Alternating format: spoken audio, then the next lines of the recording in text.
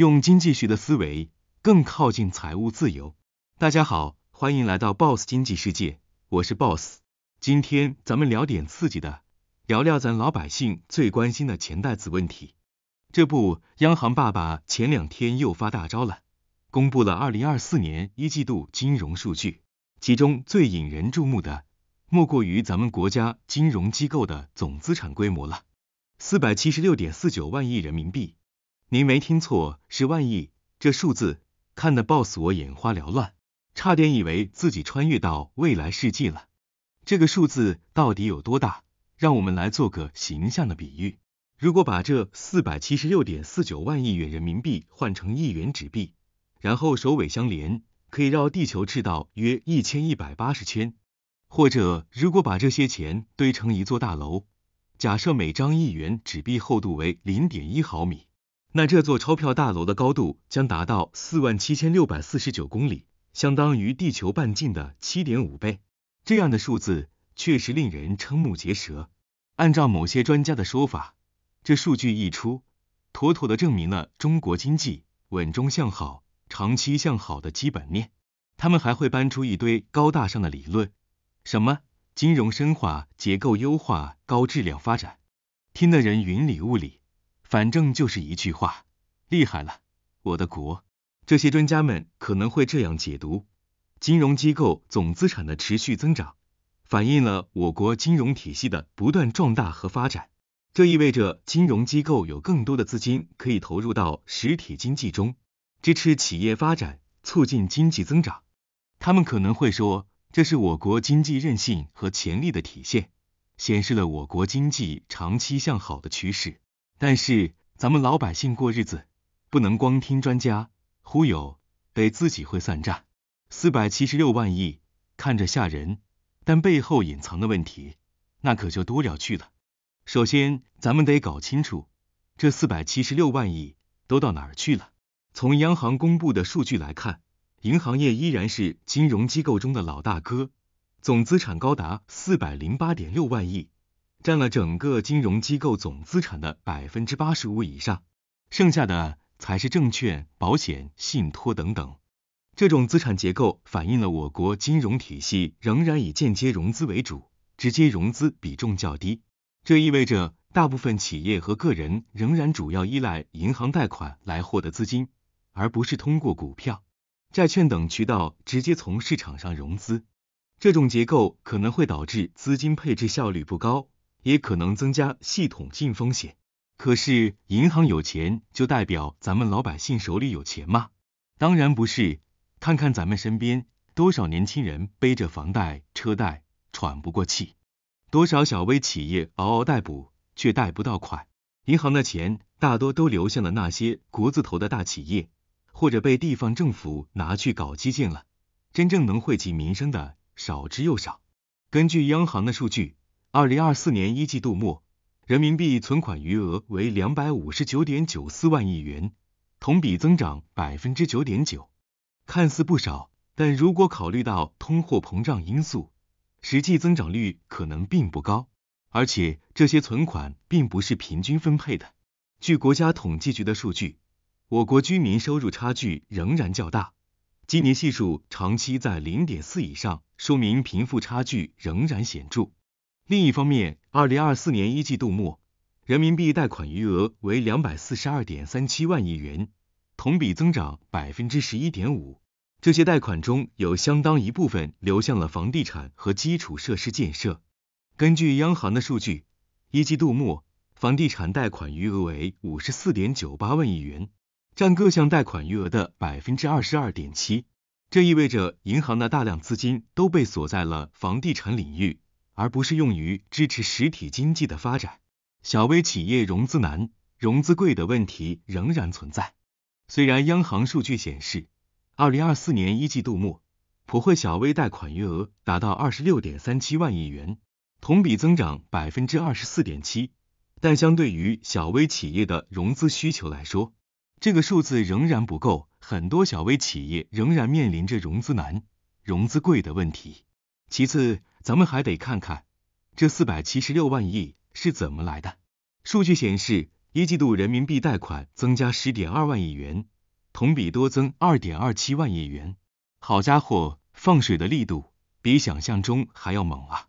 这就好比一个人明明身体已经很虚弱了，却还在不停的打激素、吃补药，短期内或许能让人看起来容光焕发，但长期下去呢，后果不堪设想。这种大规模的信贷投放。虽然在短期内可能会刺激经济增长，但也可能带来一系列问题。首先，过度的信贷扩张可能会导致通货膨胀压力增大。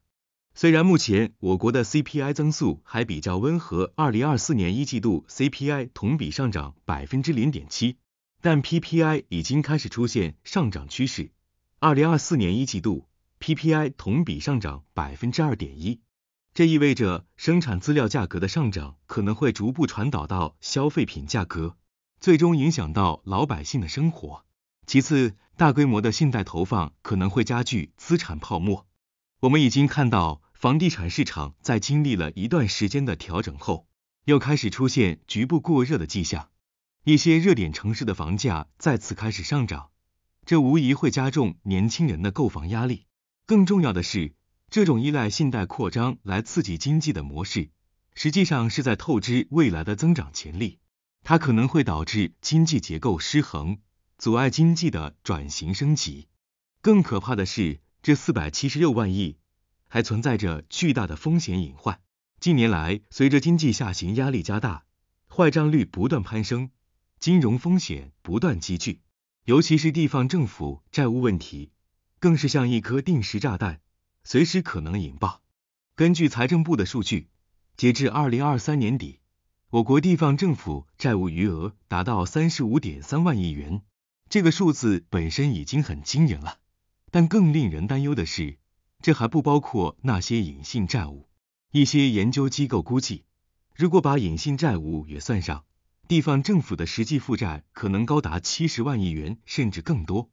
这些债务的来源主要是地方政府为了追求 GDP 增长，大搞基础设施建设和房地产开发。虽然这种做法在短期内能够刺激经济增长，但长期来看却可能成为拖累经济发展的沉重包袱。首先，这些债务的偿还压力巨大。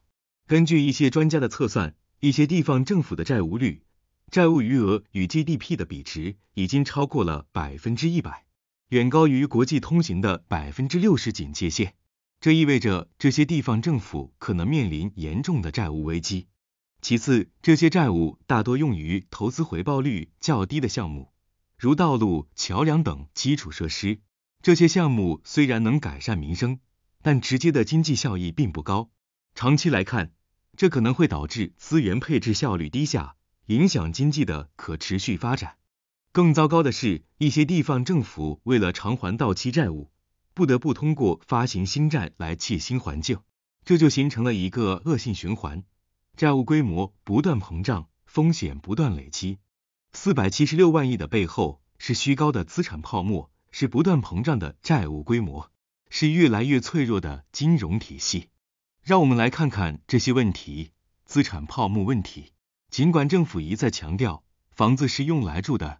不是用来炒的，但房地产市场的投机氛围依然浓厚。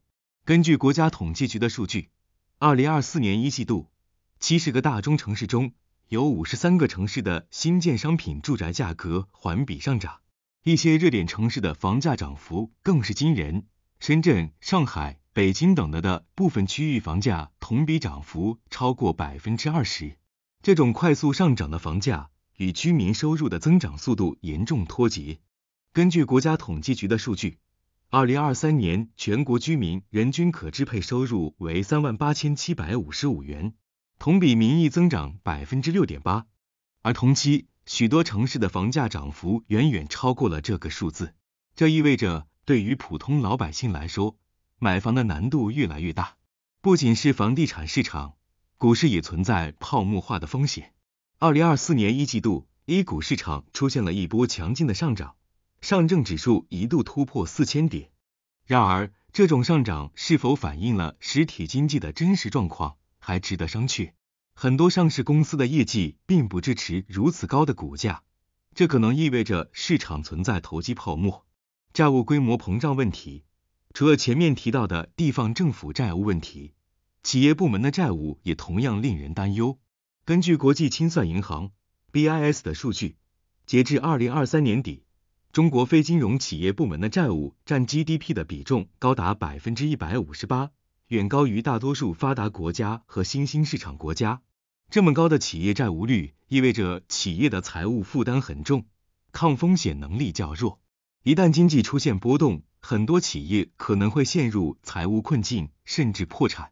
这不仅会影响就业和经济增长，还可能引发连锁反应，危及整个金融体系的稳定。金融体系脆弱性，我国金融体系的脆弱性主要体现在以下几个方面。首先是影子银行问题。虽然近年来监管部门加大了对影子银行的整治力度，但这个问题并没有完全解决。根据一些研究机构的估计，我国影子银行的规模仍然在四十万亿元左右。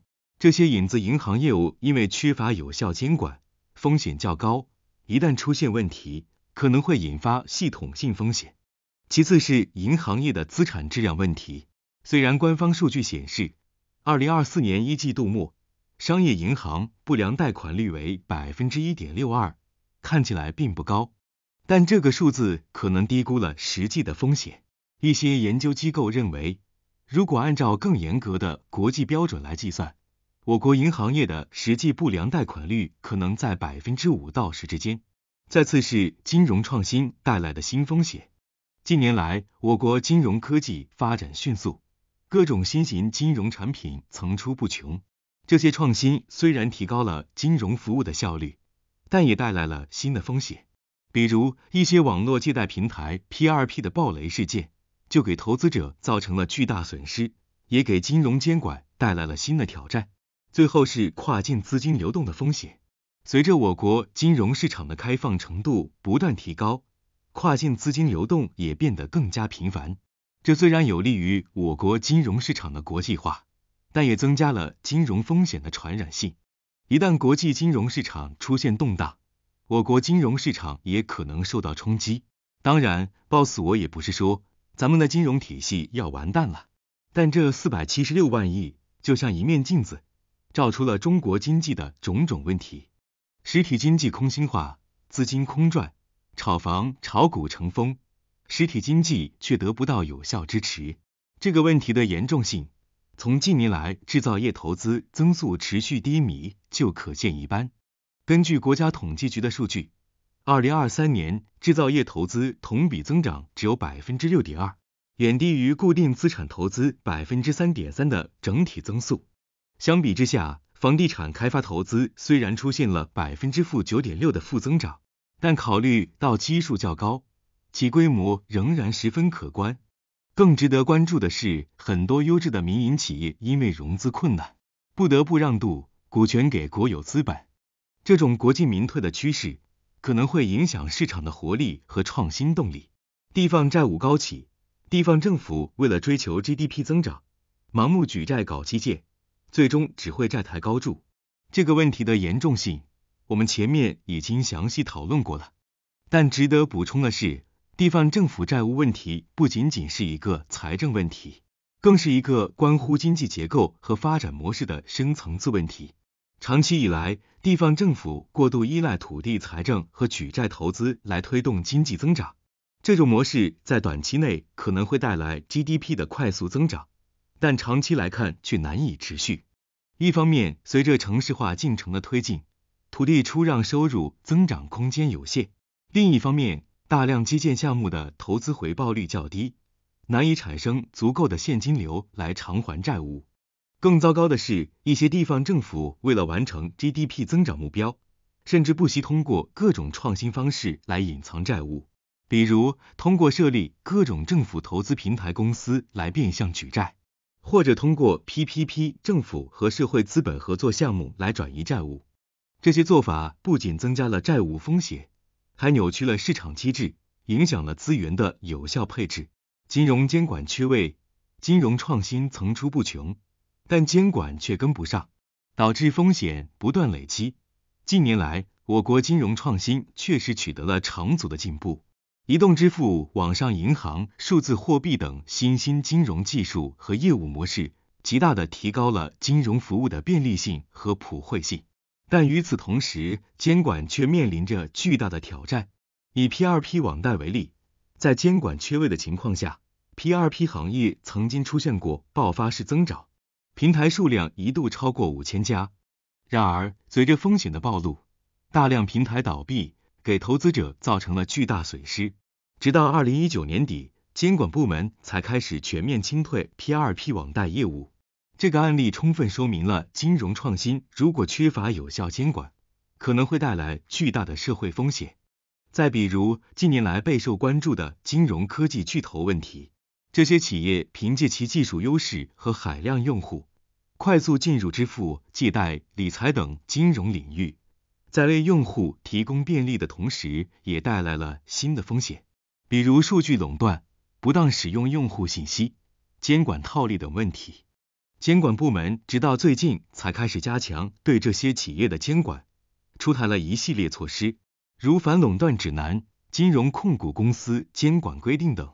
此外，还有一些新兴的金融业态，如虚拟货币、区块链金融等，也给监管带来了新的挑战。这些新兴业态往往跨越传统的监管边界，需要监管部门建立新的监管框架和方法。总而言之，四百七十六万亿的盛世繁华背后，隐藏着巨大的危机。这个危机不仅仅是数字上的，更是结构性的、系统性的。它反映了我国经济转型过程中的深层次矛盾和问题。首先是经济结构失衡的问题。长期以来，我国经济过度依赖投资和出口拉动，内需不足，消费对经济增长的贡献率偏低。根据国家统计局的数据，二零二三年最终消费支出对 GDP 增长的贡献率为百分之七十八点九，虽然有所提高，但与发达国家相比仍有差距。这种结构性问题使得我国经济增长的质量和可持续性受到影响。其次是创新动力不足的问题。虽然近年来我国在科技创新方面取得了不少成就，但在一些关键核心技术领域仍然存在短板，比如高端芯片、工业软件、新能源汽车的核心零部件等领域，我国仍然高度依赖进口。这不仅影响了产业链的安全，也制约了经济的高质量发展。再次是收入分配不均的问题。虽然我国已经全面建成小康社会，但收入差距仍然较大。